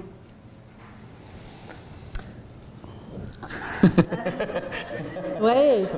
En fait, la recherche, elle sait pas trop. Tu des fois, ils- ils mettent des hypothèses comme ça. Il y a des recherches qui disent, ben oui, peut-être génétique, peut-être biologique, peut-être c'est acquis à cause de l'environnement. Il y a toutes sortes de théories qui circulent. Puis, sincèrement, moi, quand j'ai eu la confirmation que j'étais lesbienne, je me suis posé la question aussi. Je me suis dit, mais comment ça se fait que je suis comme ça? D'où ça vient? Moi, j'en ai pas dans ma famille. J'ai personne, au, au niveau de ma génération, il n'y a personne. Au niveau de la génération de mes parents, il n'y a personne. Au niveau des neveux et nièces, donc celle d'en bas, ben là, je pense que Victor, le fils de mon frère, euh, il, a fait son coming out, je pense. Mais tu sais, c'est le premier sur je sais pas combien. Moi, je me dis génétique, mais là, la génétique, elle, est cachée profondément, là, parce qu'il n'y a pas vraiment, tu sais. Puis, l'éducation, mais là, moi, j'ai quand même une grosse famille. On a tous été élevés pareil. Euh, mes frères, ils sont tous hétérosexuels. Fait, finalement, à un moment donné, j'ai arrêté de me poser la question. Je me suis dit, mon Dieu, mais il n'y en a peut-être pas de, de, de cause. euh, puis apparemment, ça, en tout cas, ça a l'air compliqué de la trouver parce que les scientifiques, ils sont pas capables de mettre le doigt sur quelque chose de, de- précis. Puis, dans le fond, après, je me suis dit, ben, ça sert à quoi d'avoir la réponse à cette question-là? Parce que de toute façon, je peux rien changer. La seule chose que je peux faire, c'est vivre bien avec cette donnée-là, avec cette partie-là de ma personnalité. Puis allons-y avec ça, go. Puis depuis, je vais arrêter de me poser la question. Mais par contre, j'ai continué à me poser de la question pour savoir pourquoi les gens sont homophobes, par exemple. Ça, oui, ça, je continue à chercher la cause de l'homophobie. Vous n'aurez sûrement pas une réponse absolue à ma question, mais suite à ce que vous dites, pensez-vous qu'il y a des gens qui peuvent l'hétérosexualité toute leur vie en étant homosexuels sans vouloir s'accepter et faire face? À. Parce que faire face à ça, vous l'avez dit tantôt, c'est comme on aimerait, ça serait moins compliqué d'être hétéro- hétérosexuel. Il faut, faut commencer par se faire accepter, s'accepter soi-même et se faire accepter par les autres. Mais est-ce que vous pensez que des gens vivent dans. dans. dans. dans. en cachette, Mhm, mhm. Dans le placard. hein. dans le placard toute leur vie, selon vous, y a-t-il- j'imagine que oui. Ben, en tout cas, j'ai l'impression que oui, ça peut exister. Euh, c'est- dur à, effectivement à, déterminer. Je ne sais pas si toi, tu as d'autres euh, exemples, mais ces gens-là, ils ne sortent pas du placard. C'est sûr qu'ils ne vont pas nous le dire puis ils n'en parleront pas ouvertement. Mais la- j'espère que la génération de mon âge ou les plus jeunes, eux autres, ils vont être capables d'en parler quand ils seront à l'aise. Puis des fois, il y a des gens qui nous disent Ah, le coming out, il faut le faire à 15 ans, il faut le faire à 16 ans. Il n'y a pas d'âge pour faire son coming out, puis tu n'es pas un moins bon gay parce que tu as fait ton coming out à 40 ans, puis que c'est pas ça du tout. Mais j'espère que la génération-là, puis c'est un peu aussi pourquoi que moi je me suis impliqué au gris, c'est de dire je me, je me suis tellement senti tout seul, tellement senti que je ne pouvais pas vivre en étant différent, euh, vivre aussi bien en étant différent, que j'ai envie de m'impliquer. Donc, j'espère que ça, ce mouvement-là va changer. Mais encore là, tu disais, l'époque où l'homosexualité, c'était illégal, c'était la peine de mort, c'était... euh, ben, c'est sûr que les gens, c'était contre la religion, t'a- t'a- t'a- t'allais au, au diable après, ton âme allait au diable. Mais c'est sûr que ces gens-là, c'est pas les premiers qui vont en parler. Puis s'ils ont été élevés toute leur vie comme ça, ben ils ont peut-être pas envie. Puis leur double vie, ils ont fini par l'accepter. Moi, c'est un peu cette impression-là que ça me laisse aussi. C'est que tu finis par accepter que tu es, hétérosexuel puis qu'il se passera rien d'autre. Puis encore là, on est chanceux de vivre au Québec. Puis au Canada, la, la mentalité est différente. Puis on a grandi à travers le monde. Puis il y a des places où euh, c'est à peu près impossible. Puis ça, ça, ça- pas du tout. Là. Que, Je pense que oui, ça existe encore, malgré tout. ouais. Dépendamment des valeurs, tu sais. Si est-ce que tes valeurs culturelles ou religieuses euh, prennent le dessus, c'est possible. Malheureusement, c'est possible. ouais. est-ce Il y est-ce qu'il y en a qui deviennent transgenres? C'est ça votre question? Ouais, c'était dans, dans le Ah. même lieu, parce que tout à l'heure, tu parlais du, du curé qui Ouais. avait dit euh, Mhm. avant, euh, tu sais, ta fille Ouais. hier, ta fille aujourd'hui, c'est Ouais. la même. J'allais dire, la réalité des transgenres Ouais. semble autrement plus compliquée. Euh, Je Mhm. présume que vous, par Guéry, vous en avez côtoyé, vous Ouais. en connaissez. Est-ce que vous pourriez nous faire, nous expliquer un peu la différence de, de leur vécu? Oui, bien sûr. Tu- Je vais? Ouais. OK. ben, en fait, bon, je vais faire une histoire, simple, courte et simple. Euh, les gens trans, en fait, c'est. Ben, je, vais- prendre un exemple pour l'il- pour l'illustrer. Moi, j'ai ma voisine qui s'appelait Yann. Donc, Yann, c'est c'est un gars. Et Yann a toujours su à l'intérieur de lui qu'il est né dans le mauvais corps. Donc, Yann s'est toujours dit je suis une fille, mais physiquement, je suis un homme. Et bon, c'est encore là, ça, c'est une autre étape d'accepter la différence. Au début, euh, lui a fait son changement de sexe, elle a fait son changement de sexe, elle avait 35 ans. Euh, mais donc, prendre conscience du bon corps. Puis le trans, qui est encore plus abstrait, c'est que Yann est attiré envers les gars, mais Yann, en fait, à l'intérieur de lui, c'est une fille. Fait que lui, c'est aujourd'hui, je suis hétérosexuel, mais dans un corps de gars. Là, là, on vient de mélanger tout le monde encore plus en disant. Parce qu'il faut faire la distinction entre le- le- le- l'expression de genre et notre orientation sexuelle. Donc, pour Yann qui est devenu Yana, Yana, donc, c'est une femme dans un corps d'homme attirée vers les gars, donc se dit hétérosexuelle. Donc, il y a deux choses. Donc, elle, quand elle a fait, quand elle a fait deux coming out, elle a commencé par dire Moi, vous savez, je suis une fille, bla, bla, bla, bla, bla. Parfait, ça, c'est une chose. Mais après ça, ça, ça d'aller dire aux gens Mais je continue à sortir avec mon chum, mais allez pas dire que je suis, euh, que je suis devenu euh, hétérosexuel. Je l'ai toujours été hétérosexuel. Donc, son orientation sexuelle n'a jamais changé. Je sais pas si. euh, En fait, c'est- ce qu'il y a, c'est qu'il faut vraiment commencer par séparer ces deux notions-là. L'attraction, l'orientation sexuelle, ça, c'est extérieur à nous qui est en mesure de nous attirer euh, physiquement, sexuellement, de façon euh, euh, érotique et affective. Est-ce que ce sont les hommes, les femmes ou les deux? Cette réponse-là, elle va nous donner notre orientation sexuelle. Donc, moi, ce sont les femmes, je suis lesbienne. Ça, c'est l'orientation. Maintenant, on a ça de côté. Après, il y a une autre réalité qui est, est-ce que moi, j'ai le sentiment que je suis un homme ou une femme? Indépendamment de mon orientation. Moi, Marie, j'ai le sentiment profond que je suis une femme. Donc, je suis une femme lesbienne. Mais il y a des gens qui vont avoir le sentiment profond qui sont une femme, même si à la naissance, on les a regardés, on a vu entre les jambes qu'il y avait une petite chose qui pendouillait, et on a dit ceci est un garçon. Mais cette personne-là, indépendamment qu'on a dit ceci est un garçon, elle se sent vraiment une femme. Autant que moi, je me sens une femme. Donc moi, mon identité de genre, c'est femme, puis mon orientation sexuelle, c'est lesbienne. Une autre personne, son identité de genre peut être femme, dans un corps de femme, ou femme avec un corps qu'on a assigné à la naissance garçon. Et après, il va falloir voir c'est quoi l'orientation sexuelle de cette personne-là. Indépendamment de son identité, elle peut être homosexuelle, hétérosexuelle, bisexuelle. Donc, dans le cas de Yana, son identité de genre, c'est femme, même si à la naissance, on l'a assigné garçon, parce qu'on l'a vu. Et puis, son orientation sexuelle, c'est hétérosexuelle, parce que ce sont les femmes, ce sont les garçons, pardon, ce sont les garçons qui sont susceptibles de créer chez elles une, une attirance euh, affective et érotique. Donc, par exemple, si vous regardez, je ne sais pas, vous connaissez Michel Blanc? On la voit des fois à la télévision, là, c'est une spécialiste des réseaux sociaux. Donc, elle, c'est une femme trans, donc assignée garçon à la naissance, devenue femme trans. Puis elle, avant sa transition, elle était en couple avec une femme. Elle a fait sa transition, et maintenant que sa transition est finie, elle est toujours en couple avec cette même femme-là. Donc, son orientation sexuelle, disons, elle est aux femmes. OK, on va dire ça. Son orientation sexuelle, c'est aux femmes. Aux yeux de la société, quand elle était dans son corps d'homme, ben, la société la considérait comme hétérosexuelle, puisqu'elle était dans un corps d'homme en étant aux femmes. Maintenant qu'elle a fait sa transition, aux yeux de la société, c'est une femme attirée par une femme, donc elle est lesbienne. Mais elle, le sexe des personnes qui sont susceptibles de créer attraction affective et érotique n'a pas changé. Son orientation sexuelle n'a pas changé.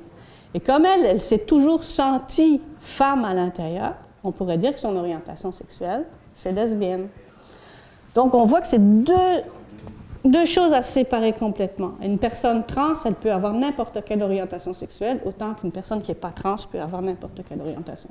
Par exemple, dans, dans- dans l'exemple que vous venez de donner, euh, la conjointe, c'est qu'elle avait, la conjointe, c'est qu'elle avait déjà accepté finalement Oui. que c'était euh, une femme dans un corps d'homme ou là, sais. Donc, C'est ça.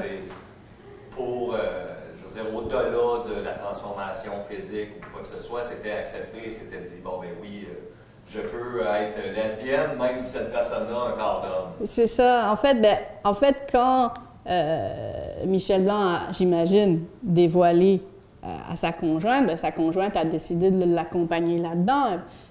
Probablement qu'elle lui a dit, j'étais pas là, mais probablement qu'elle lui a dit, je t'aime comme personne, tu sais, et je, je t'aime avec tout ce que ça, tout ce que ça comprend et avec tout ce que ça comprend pour l'avenir aussi, je reste à tes côtés pendant cette transition-là. Cela dit, c'est pas tout le monde qui va faire ça. Hein.